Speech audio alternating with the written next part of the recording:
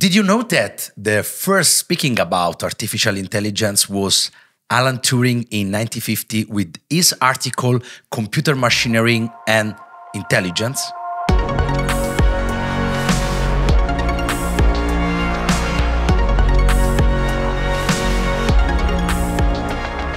Hello, everybody, and welcome back to Hello Trust, your one stop podcast dedicated to the world of digital trust, a set of innovative technologies uh, that allows us to perform complex operations directly online, such as signing a digital contract, opening a bank account, or even subscribing an insurance policy. I'd like to remind you that this podcast has been produced by InfoCert, the largest qualified trust service provider in Europe, and you can watch all the episodes uh, through our YouTube channel or even even listening to it uh, through your favorite podcast platform. Also, in this last episode with me, Igor Marcolongo, our black belt in EIDAS 2. Hi, Igor. Okay. Hi, Pasquale. Wow, we are uh, we are at the end. Yeah, almost at the wow. end. And today with us, a very innovative expert, Fabrizio Leoni. Ciao, Thanks Fabrizio. for having me. Ciao, ciao Pasquale. So Fabrizio, uh, this time for this last episode, I want to start in a different way because we won't start from the regulation, we will start from the basis. What is artificial intelligence? Yeah, uh, interesting question. uh, artificial intelligence, uh, uh, in reality, is an umbrella term, let's say. Uh, so there are a lot of technologies, uh, different shades of intelligence. also, the definition of human intelligence is not so clear, scientifically speaking, and it is a discipline that have grown a lot in, in the in the last year because of the existence of a new class of uh, mm -hmm. uh, artificial intelligence uh, softwares, which are called large language models. Uh, and when we are speaking uh, in these days uh, about artificial intelligence, we are speaking about systems that can act as a human in dialogue with the human, in expressing themselves as they were human being. Uh, this will change. Will will change a lot. Two things: the way we develop uh, software and the mm-hmm. way the human will interact uh, with uh, machines.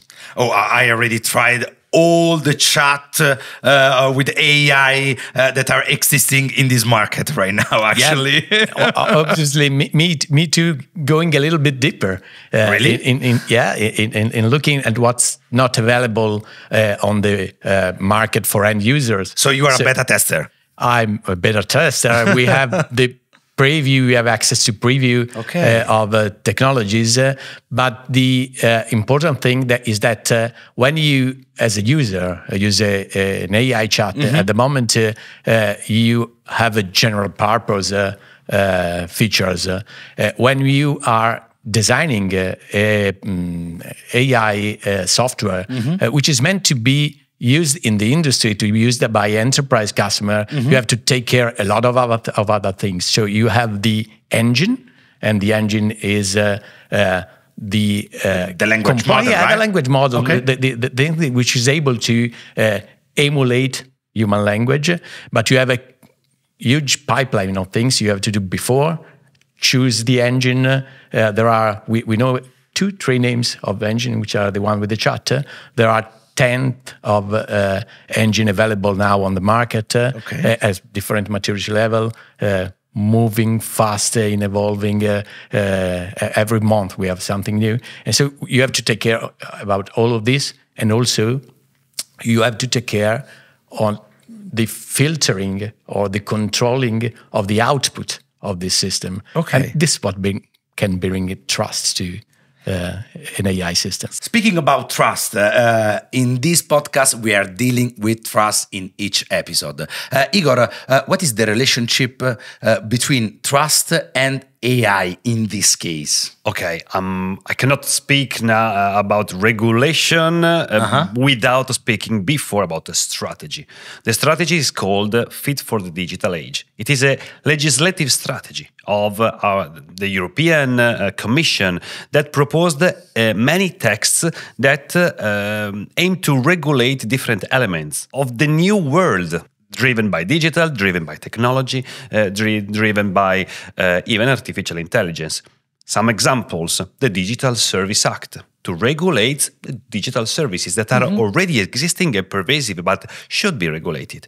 The Digital Markets Act so to regulate the markets created by these digital uh, services the AI Act, so the first um, organic regulation in the world about this topic of this podcast today. So, this episode about um, artificial intelligence. EIDAS is one of the pillars of this Fit for the Digital Age uh, strategy. So, you know, AI Act and EIDAS are on the same basket of regulations that uh, together aim to regulate the, the, the current and the future development of the market.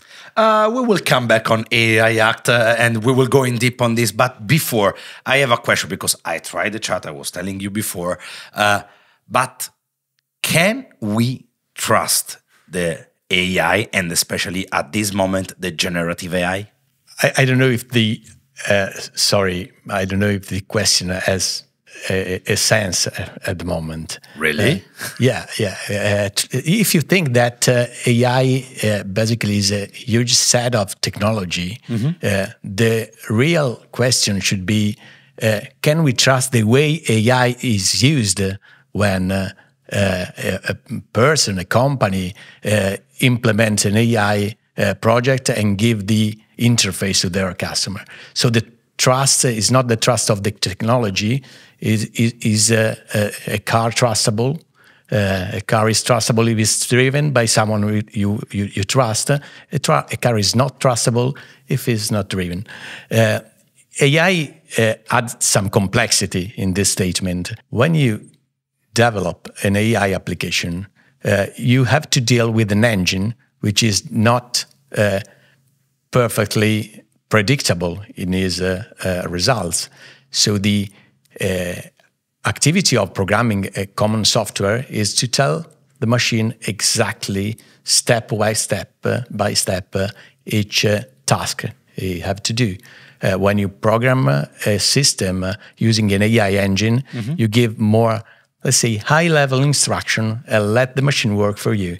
an important thing in trust is to make sure that the instruction you give and the filter you can put uh, to uh, control the output uh, and the feedback you can give the machine to tune the result of the conversation are correctly trustable for the environment and the users you are talking to. So we can say there is not a generic trust uh, uh, talking about uh, AI system, but AI system must be tuned must be tuned to have the correct level of trust uh, with respect to the use you want to uh, and the results you want to achieve uh, with that system. this can be complex and is mainly by tuning uh, uh, responsibility on the construction of this pipeline uh, that gives trust to the end user. So uh, at the end, we still need humans uh, to manage Luckily. in some way uh, AI. But uh, one last question for you, Igor. Yeah. Uh, AI Act is the first time that European Union actually is arriving really, really fast in Indeed. a regulation uh, of a particular argument. what can you say about it? how many hours do I have? no, like one minute. okay, so I need to stay uh, quite uh, quite synthetic. Um, well, the purpose of the AI Act is to is to protect citizens. So the idea is that. Uh, AI is a really powerful technology that can become and will become, in my opinion, and not only in my opinion, pervasive. So we will find sure. AI we actually are already having artificial intelligence um, connected into a lot of our uh, daily actions and technologies we deal with. The idea is that with the evolution of AI, there is some risks for human rights. So we need, because it is a, it is a powerful technology, to regulate that. Europe is really the first uh, legislative body that is uh, regulating artificial intelligence. So we are ahead in um, in the world. This can be good, but because we are designing and orienting the market and the developments to, to put people at the center can even be bad. And there, there has been a lot of debate uh, during the AI Act negotiations because the risk is to uh, create problems to the development, so harm the developments of small medium enterprises, technology sure. uh, companies uh, in Europe. We need to find the right balance. Just one thing to reconnect AI Act with EIDAS, for sure, strategically part of the same packages. But if we think that one of the main um, objectives of EIDAS and the EUDI wallet is to put people at the center. We can understand how these regulations are interconnected. Uh, more practically, um, artificial intelligence tools are already used by um, digital trust products to identify people, to support the identification of people, uh, you know, uh, biometric uh, um, processing, uh, automatic reading of documents, or even to enhance the functionalities, the basic functionalities of any delivery service, a signature platform, and, so on. So, you know, AI, AI will be uh, a tool to uh, enable EIDAS products, and the EIDAS could, um, in my opinion, will be um, will give some tools to make more trustworthy uh, even uh, AI uh, platforms in the context where they are used. So, uh, a good relationship between these two regulation by uh, you know European Union. Last question for you, Fabrizio. The next podcast uh, will be done by a, a deep fake. How can I protect myself from my deep fake?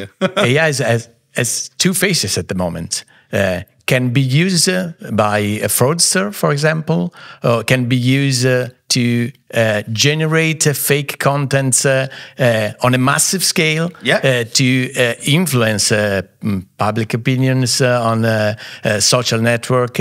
but at the same time, AI is a powerful instrument to fight against this kind of attacks at the moment, uh, almost uh, all the advanced uh, um, software in uh, fraud control, in uh, document tampering control, in face matching are based on AI.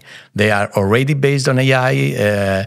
it's more, let's say, traditional AI with respect to uh, the large language model, but they are present. They are present at the moment, uh, and they are a shield against uh, fraudster.